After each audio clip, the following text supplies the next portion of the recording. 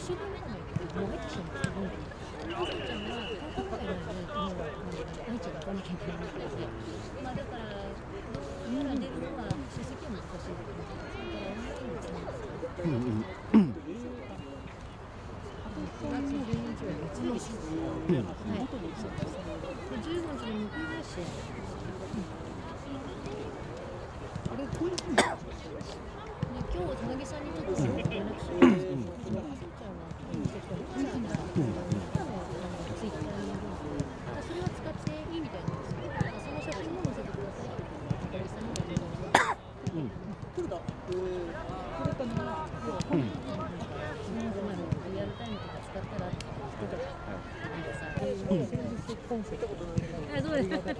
何を落とし込むん。ですかみな。ん。なに言われた、なん。か、森保君に喧嘩を着てるの。なん。かね、一チームだったこと、なん。かね、そうそう、高校時代ね、総試験できない、そう、なん。か、だから、あん。まり実は。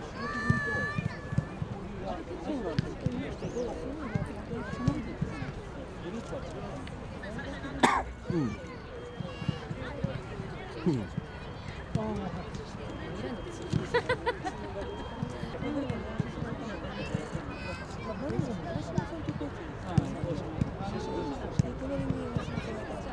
Mm-hmm.